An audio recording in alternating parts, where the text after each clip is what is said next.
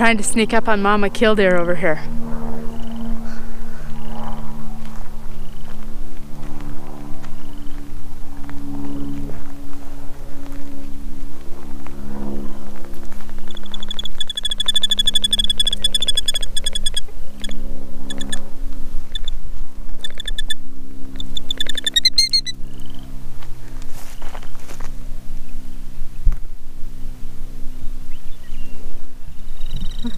Five beautiful little eggs. I've never seen more than four in a nest, so that is really kind of cool. Welcome to Willow Creek Homestead. Thanks for joining us today. Appreciate your support. I know I say that a lot, but I really do. I appreciate it. It's fun to see spring in bloom. I know a lot of the channels that are back east, they've been gardening and springing for a while now. But here in the Arctic, as I call Idaho, it is beautiful to see some flowers.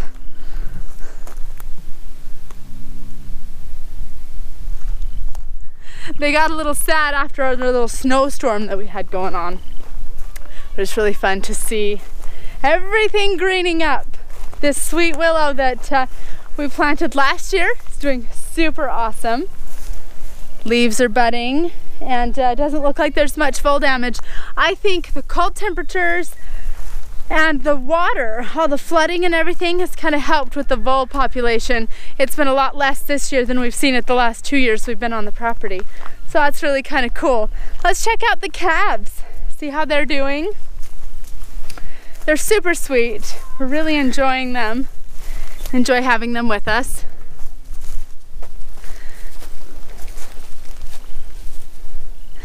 It's just fun to care for animals and to uh, enjoy having them. We're still not 100% sure what our end goal is with them, whether we'll raise them up for ourselves or if we'll sell them. But, um, you know, we honestly didn't know if they would even survive, you know, taking on twins, you know, to see how they would do. Bottle calves, I know there's a lot of issue with that. Um, we did a series on the Great Calf Adventure for you new followers. Um, I'll put that in a card above. But um, they've been super fun. On the docket this week is we are finally gonna get Apollo castrated. Um, we probably waited longer than most do. Is that good, is that bad? I don't know. Guess we'll see when we go to band him if they're too big, then we'll have to go to uh, plan B on that scenario.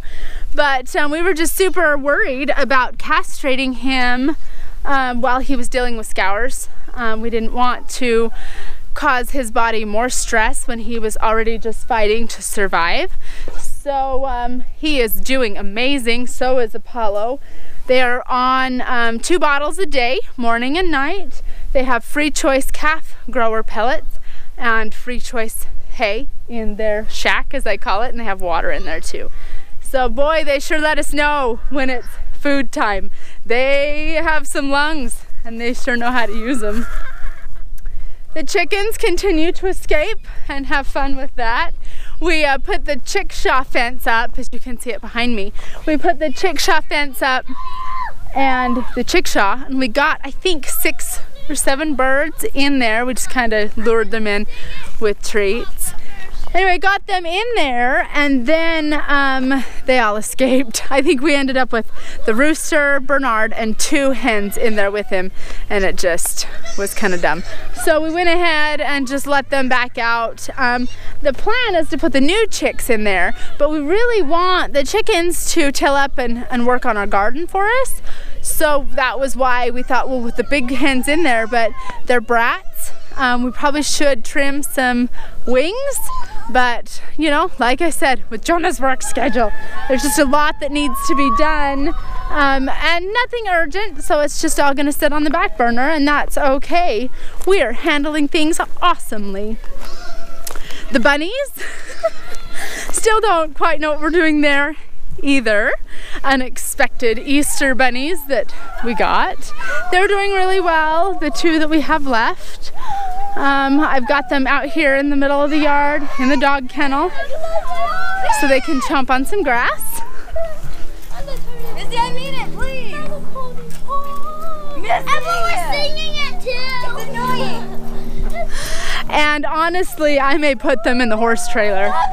and um, let them live in there and bring them out to, to grass. It's just, it would give them a little more room and um, it wouldn't stink up the garage. So we are really, really hoping to do a burrow system. Um, just waiting for the time to get it done.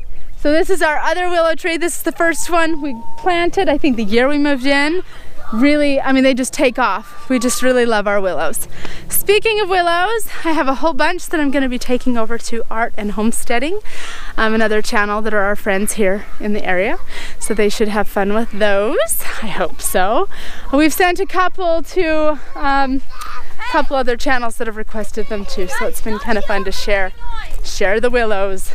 So Anyway, the pigs are doing great. As I reported yesterday, they've all been out to pasture and I've really enjoyed that.